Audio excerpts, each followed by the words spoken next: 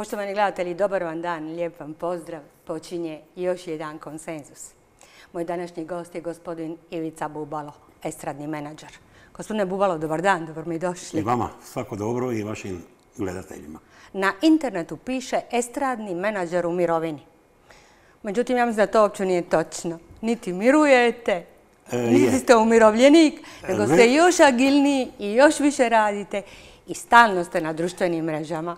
E, što se tiče rada, složio bi se u mirovini, s obzirom da sam potega neku crtu prije 3-4 godine i rekao sam više neću raditi, ali baš, iako je posla kao i nikada. Međutim, e, radit ću samo ono prvenstveno što mi je lipo, drago i prvenstveno za one ljude za koje mislim da to skupa kao što je oni s menom, tako i ja s njima zaslužujem. Pa eto, jedan od tih stvari u te tri godine, u te tri godine samo tri stvari sam radio, a to je bio onaj koncert na Poljudu za Splitsku bolnicu. Drugi meni jako, jako drag e, e, početak osnivanja jazz festivala sa Sarom i Japon, koji su meni ono svjetski. I treće, to je bio ovo ljeto na mom prijatelju Draženu Zečiću na Žnjanu. Žnjan. Eto, dakle, nisam u mirovini, ali i, i jesam, jer ono sve drugo... A dobro, valjda čovjek dođe u te godine kad može raditi ono što hoće, ono što želi i ja mislim ono što je si. najvažnije, ono što zna. Međutim, treba doći u te E, pa, godine. Znaš što je najvažnije meni? Ono e, da ja ugodim sebi. Da ja sebi ugodim, kažem, e, ne trebam to raditi, ništa ne trebam od toga, nego samo ono što mi je lipo i drago. Eto, to je. Ali hoću, mogu i Tako želim je. nešto Tako, prenijeti. apsolutno, apsolutno. Ono zašto sam vas ja zapravo zvala, to su te društvene mreže. Svi o tome pričaju, mnogi vas prate. Puljak, aktualna gradska vlast, politika, Splitski festival, ajmo od kraja. Što se događa sa Splitskim festivalom? Jesu li samo neka politička obećanja, bez struke, bez znanja? Odlično pitanje. E, Je li politika za budućnost ćemo vidjeti šta će biti, jel? Međutim, ono, jedan od glavnih faktora koji upropasija Splitski festival nisu ljudi koji rade. Politika koja to nadzire, koja se miješa u sve, koja odlučuje. Dakle, definitivno i ovi Splitski festival je pokopan, njega fakat više nema. On postoji samo u imenima, jel? Tragedija i žalosno. E, Kad je da- pokopan? pa ima e, pokopan je onog momenta oka više nema ono za što je bio namijenjen, a to su pjesme. To su pjesme koje ostaju, to su pjesme koje slobodno mogu kazati uz Hajduka, Splitski festival je drugi najveći sinonim bija grada Splita, a kao što znamo, glazba je nešto možda najplemenitije od svih umjetnosti. Pratite od rođenja do smrti kroz sve, sve faze e, zabave, fešte, ujutro slušanja radija, televizije, dakle glazba je tu. E sad ćemo doći odmah i do problema onoga e, kojega ćemo kasnije doći. E, Pošto zadnjih 10-12 godina ne možemo kazati, evo ovako, dakle trener se u Hajduka mijenja kad nakon 3-4 utakmice izgubi utakmicu. E, Igrači se miču ako ne daju gol, šta će oni raditi, jel? Tako je i festival. Dakle, u 10 godina, 10-11 godina, ne znam kakvom anketom da radite po gradu i svugdje niko neće nabrojiti dvije pjesme. Dakle, to je srž festivala. Pjesma, pjesma i opet pjesma. Jel? Sve ono na festivalu što se dešava, onog dana kad završi festival, napred se mjeri vrijednost tog festivala kroz pjesme koje ostaju. E, najbolji primjer toga svega je, evo sad će uskoro, vidio sam, e, ima na, areni, Splitskoj i Zagrebačkoj koncert. Eto, vidit ćete na tom koncertu, na primjer, njena pjesma nema 80, ja mislim čak i 6 željo moja, a nakon toga 91. druge, treće, ove Tončeve pisme koji su ono, e, hitovi, e, mega hitovi, jel? Svako, oni ko se tada nije ni rodija, svi znaju od riječi do riječi i na, što je najvažnije, na temelju toga ona i svi ostali i prodaju svoje koncerte. E, jedan od, kad se već smo se dotakli Splitskog festivala, najbolji primjer je Dalmatino, jel? koji je od prije četiri godine, Dalmatino je pet, Dalmatino je išao radi svoj koncert u Zagrebu, u Lisinskoga.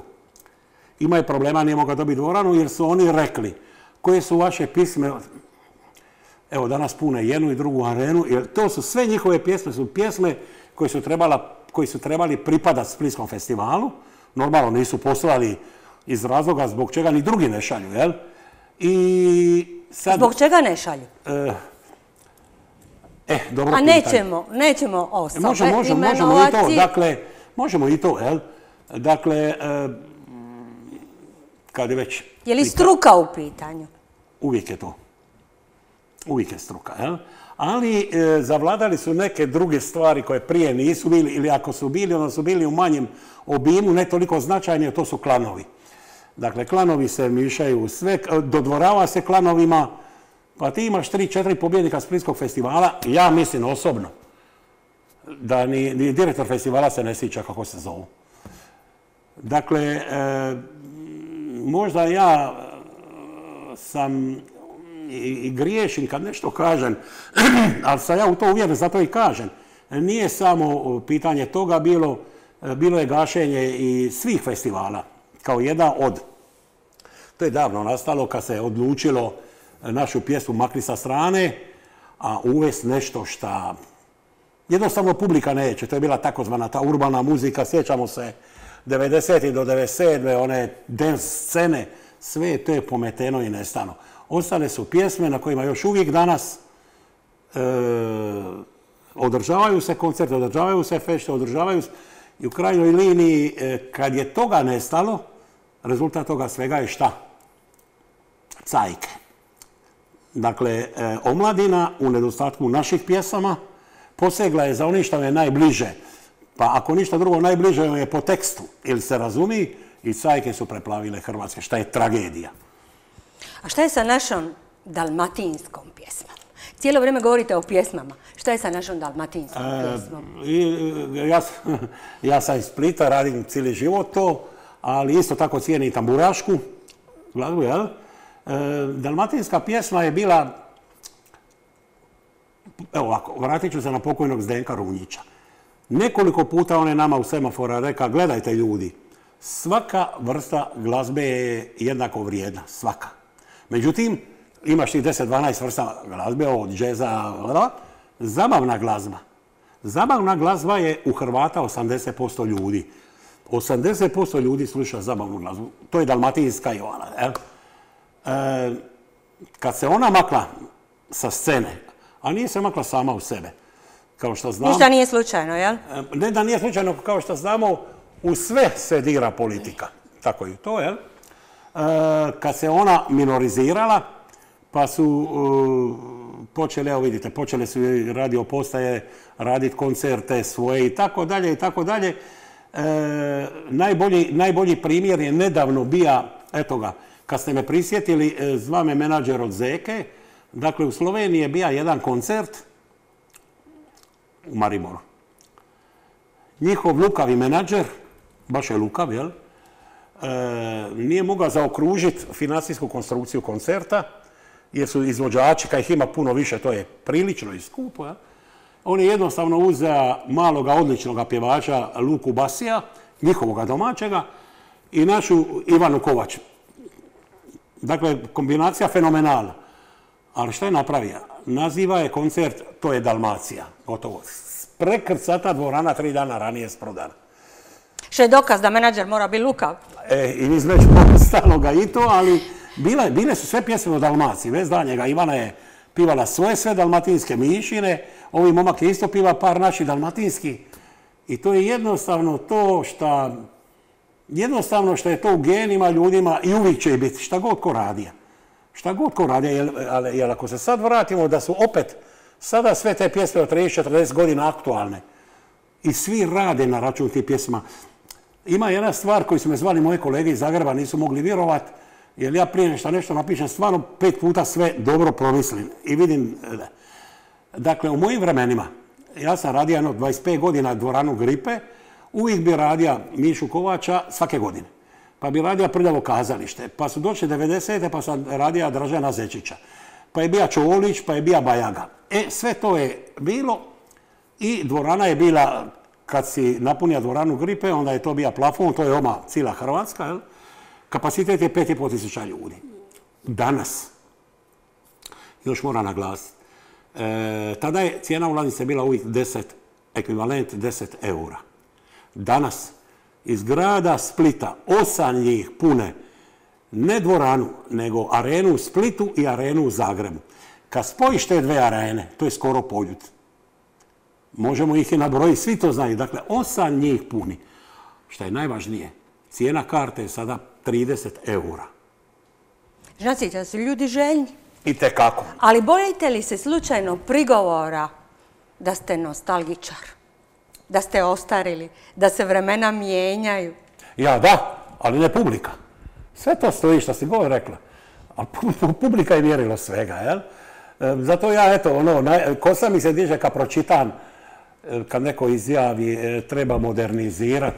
Sljedeće pitanje, objasni mi šta to znači, nema odgovora. Šta to znači modernizirati? Ili pjesma ili je dobra ili nije dobra. Ja ne znam, preslušao sam tri, četiri puta taj album od Dalmatina. Nema ni M od moderniziranja. Dakle, znao se zadane dalmatinske glazbe. Dakle, prvenstveno je po meni tu jedan od važnijih faktora tekst. Na to je naša glazba i šta tu, ima, šta tu imaš više modernizirati? Kad vidimo da nije to samo slučaj u Hrvatskoj, ja gledam, pratim Italiju i tekako, sve njihove velike mega zvijezde su iz tih vremena, a, kao što vidite na top, e, koliko je bilo top 30 za prošlu godinu, 27 su svjetska imena, oni koji su stariji priko 25-30 godina. Dakle, kriza je pjesama u svemu, e, novac je preuzeo sve, kroz razno razne DJ i 300 tih gluposti, jel? I, međutim, nije se promijenio i nikad se neće promijeniti ukus publike. Pjesma će uvijek ostati pjesma. Moje kolege novinari pišu. Nikoga ne štedi. Glasno i žestoko ukazuje na nerazmjere, na nepravilnosti. Stisnuo je puljka, opleo je po puljku i tako dalje. Jeste li bili u kojoj političkoj stranci? Jeste li Nisam nikada, ali ne bi se složila da sam opleo po puljku, reću vam zašto. Ja sam njemu poslao Otvoreno, pismo. Bilo mi je super drago, odgovorio je obe, odmah sve je super. Nisam ni malo opleja po njemu, e, ja sam mu napisao da je samo razlika u jednoj stvari, gledanje mene na Splitski festival i njihove komisije. To je skroz oprečno gledanje. On ima pravo kao sa svoje funkcije koje je, ja imam pravo sa svoje funkcije i slobodnjaka i dalje smatram da Splitski festival od 7 dana je bacanje novaca i ništa više i bez ikakvog, već unaprijed znamo da nema šanse da to uspije. Šta to znači? Šta to znači na Splitskom festivalu funky? Šta to znači jazz? Šta... Umjesto kako je festival pokopan, da se prve dvije godine sve bacilo u Splitski festival, oni iskonski Splitski festival, pa se vratila i dio publike koja će se sigurno vratiti. Jedan od mojih prijedloga bija koji sad njima bija uputio je sljedeći, da Splitski festival kad se održi u Splitu, da se u sljedećih 15-20 dana u manjem obimu, samo sa pet pjevača koji su najnagrađeniji, održi i u Osijeku, i u Rijeci, i u Zagrebu, e, tada bi ti lokalni mediji tamo isto to potakli, e, i televizije, i novine, i tako dalje, i tako dalje, i da se uloži u to, a nešto će dole doći gitarijada, neki mladi na... Sve su to manifestacije koje ovome gradu i kako trebaju, nismo najgori po tome na Jadranu. Definitivno Split, jel? Ali ne, to nije Splitski festival. Što je po vama Iskonski Splitski festival? Što je sad sa ovim savjetom? Što je sa koncesijom i natječajem? Za mene festival je prvo odabir ljudi koji znaju šta je to, koji vole to, e, koji u to vjeruju i čak, čak sam ih ja tamo i nabrojio imenom i prezimenom i za koji stoji njihov rad dosadašnji i ono što je po meni jako bitno u ovim momentima, jako bitno, da su to ljudi koji ne pripadaju nikakvim klanovima. Dakle, oni jedino na taj način mogu... Ima u Splitu 5, 6, 7 ljudi koji bi taj Splitski festival mogli iznijeti. Sa svima njima se je razgovaralo, ali svi imaju isti uvjet, jel? To im ne treba u varijanti da će im se neko namećat nešto ili bilo šta. Dakle, svi kažu, e, odgovarat ću, pustite me, odgovarat ću. Ali nemojte mi... Ali dajte mi slobodne ruke. Jel to to? Apsolutno. Što je sa ovim savjetom? U čemu je problem? Ma evo, ja sam čak poimenično napisao. Imamo momka Luku, ovoga maloga Botrića, meni on odličan. I vrhunski je muzičar i nije klanovski, da se mi razumijem. A, mogu li vas zamoliti što nećemo o imenima? Ajmo o politici i o struci. Ok, e, mislim da taj savjet koji je, do, jer on je već donio odluku, to, to, je, to je 100%, ne 100, nego 101% krivo. Dakle, to sve je, to su gradske manifestacije, ja to podržavam i poklanjam, ali to se ne smije izvati Splitski festival. Samo to. U tome je jedino problem. To- to je jedino. Dobro, ljudi su shvatili, nadam se da su ljudi shvatili. Imate li političkih ambicija? Bož sačuvajmo. Ma gledaj, za, za, zato se malo prije vraćali na tvoje kad si rekla da sam oplea puljka. E, ja sam jasno napisao. Ja sam to pročitala. Ne, onda si pročitala na moj fesu, kad su bili izbori. Ja nisam glasao za njega. Ima sam jednu drugu srednju opciju i tako da. Ja sam to i objavio. Međutim, dva puta nakon toga, kad su oni, ovi mali Bošović, preuzeli vlast, pa i srcem i tijelom sam bio za to. Oni su pokrenuli nešto što ova prijašnja dva bižali su od toga. Prema tome, e, svaku njihovu dobru stvar koju naprave, ne da ću podržati, jer moram podržati, to je moj grad. Oni su tu par godina, otiće, ja sam cijeli život tu, jel? Prema tome, e, dobija sam 20-50 neprijatelja kad sam to napisao, da su se drznili i dirali u ono što niko od prije nije, jer je to istina, to svi znamo. Tako da me ta politika najmanje interesira u vidu koji se inače ljudi opredjeljuju u politici. Jel? Ako naprave svaku dobru stvar koju naprave, mislim da bi makar svi mi stariji trebali to podržati. Zbog mladih buduće. Zašto ozbiljne političare, odnosno osobe koji bi trebali biti, koje mi smatramo ili smo smatrali do jučer ozbiljnim političarima, toliko zanima estrada, pokazivanje, snimanje. Pa eto, ako već mogu biti iskreno, ja sam tako i doživio ova zadnja dva gradonačelnika. Briga njih bilo za festival. Oni dođu svi u prvi red, svi se javljaju, televizije, novine i tako dalje. Njih uopće ne interesira šta je na bini, još manje da znaju šta je na bini, jel? Još manje da znaju šta je prava pjesma i Splitski festival, jel? I ni po sto puta u cijeloj državi isti problem. Čega god se dakle politika, a nije za to kompetentna, to ide k vragu. Tako i ovdje. A kako bi to mogli riješiti? Kao i što Evo, se... vrlo Split stalno bira novu vlast, nove gradonačelnike, a stvar se zapravo ponavlja. Gledaj, u to, e, to ja ne mogu, e, ja sam tu pristališa, ljudi biraju kako biraju. Dakle, oni će zabrati šta hoće. Međutim, on, oni koji je na vlasti, oni koji je na vlasti, on treba odabrati svoje saradnike. Evo, samo jedan primjer, rekli ste nećemo imena. Da su bili 5-6 ljudi, počeo Rajmira Kraljevića, počeo, nemam pojma, od Ive Lesića, ja, svi ljudi koji to znaju, svi znamo šta ko zna, šta ko ne zna. E, sigurno do ovoga ne bi bilo došlo. E, sigurno ovo nije samo odluka e, pojedinca iz ove komisije, to je stvar koja se okrenila. Ja, dobro, moram, moram se suzdržati od imena. Kad sam vidio tamo jedno ime, mene je sve bilo jasno. Gotovo je. Festival je je Tako pesimistično. Kad sam vidio Tako ta- decidirano. Tako, inače, znaš zašto? Inače, da nije tako, ne bi se to ime ni zvalo tu. Dakle, to je jedan vaš kolega koji je cijeli život protiv festivala i sad, kako? Kako da on... Ja znam kad sam ja pokrenija klape na poljudu koje je bila, koji su to bili udarci i tako dalje. Međutim, ja sam znam jednu stvar. Narod je uvijek tu, e, oni mogu svoje priča šta god hoće, jel? E, narod je uvijek tu koji će on odabrati ono šta hoće. I- evo, sad u jednoj rečenici e, idemo na Riju, idemo na pijacu, sto ljudi ćemo anketirati, sto. Ne mogu kazati da će 90% reći da je ovo krivo festival. Svi sto će reći. Svi sto. Spomenuli ste pijacu, spomenuli ste Riju, svaki dan vas se može vidjeti dole, na kavi, brusite mišljenja. I se ko ima hrabrosti tako izići javno? Je li premalo ljudi u Splitu koji znaju svoj posao? Da žele opet ti- javno. opet ti kod da sam ja s tebom dogovorio. Zato mi je Nismo drago. se ništa zato mi je drago, e, pa drago, gledaj. apsolutno. Mene sad masu kolega zove. Evo, zva me, taj kolega iz Zagreba, zva me iz Beograda, ovi iz Beograda će raditi turneju toga, toga, toga. I moj najveći problem što ja nemam koga predložiti. Jedina osoba u ovom gradu koja se bavi s ovim na svoj način, to je Karaman, jel? E, Damir. E, e, ne, nekada bi ja njemu rekao, javi se toj osobi u Šibenik, to je u Makarsku, to je u Metković. Nažalost, to je točno. Više nema, Nikoga zato što se promijenila cijela koncepcija tih e, poslovanja. Dakle, e, sad mora nešto i protiv vas. E, dakle, po meni najveće zlo, ne u ovome poslu, nego u ovoj državi su mediji. Nažalost, bez toga ne može ništa. Dakle, ima, dobro znamo, jel, kad mediji hoće isfura nešto, to je gotovo. E, tu, tu dolazi do, do te... Tako da ljudi, što se pitali, jednostavno, nažalost, ljudi nema. Zašto su mediji uvijek krivi? Svima, Iz i političarima, i estradnjacima. U medijima ima divnih Ne, ne, ne, ljudi. Apsolutno. Ima predivnih novinara, pametnih Zašto su, i ljudi, objektivnih. zašto su mediji krivi?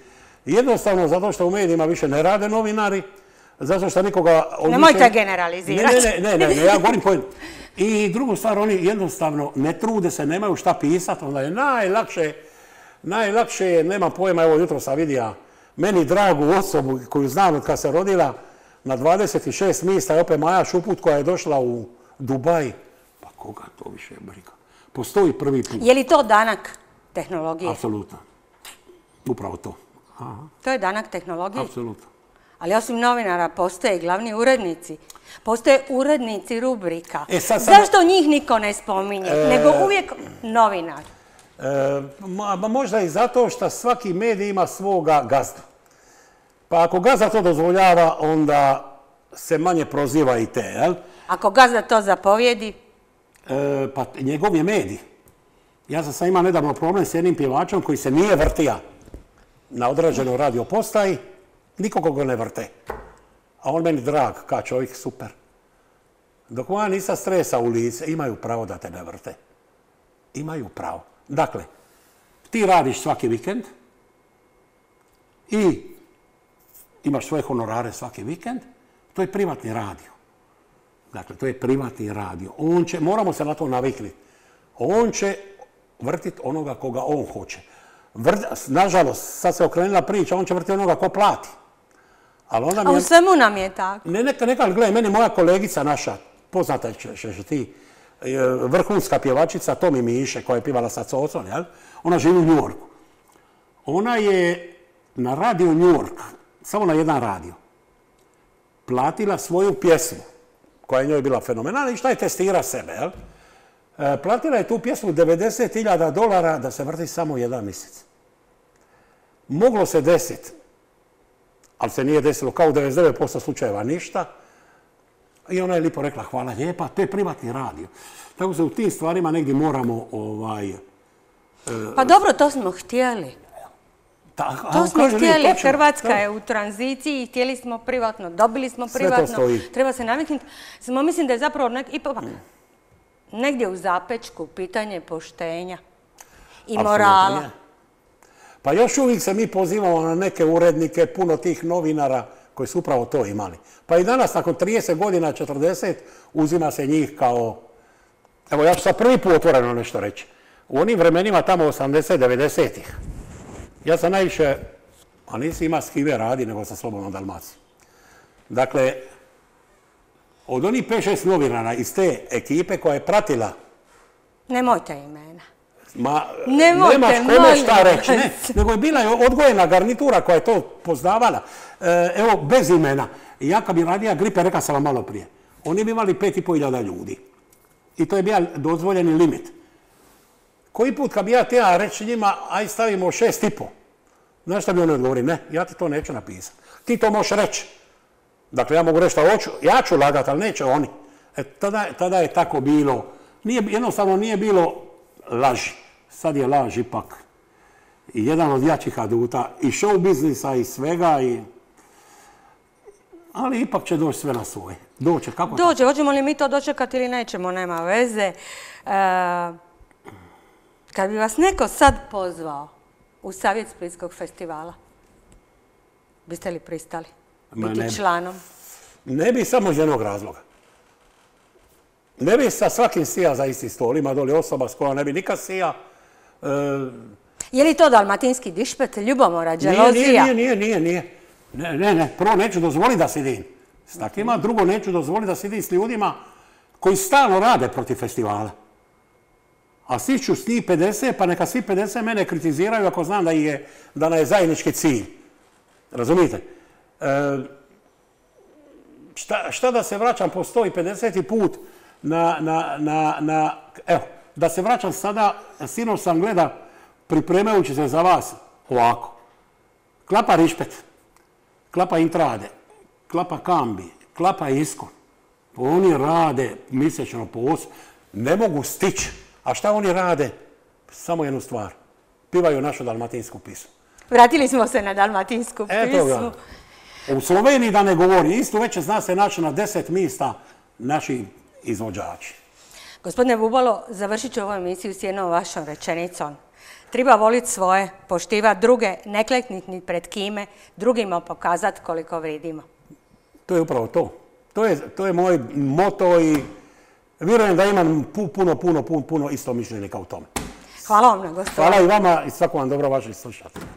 Poštovani gledatelji, bio ovo još jedan konsenzus, a moj današnji vrlo zanimljiv gost, gospodin Ivica Bubalo, estradni menadžer. Hvala vam što ste bili s nama, vidimo se idući četvrtak i čuvajte se.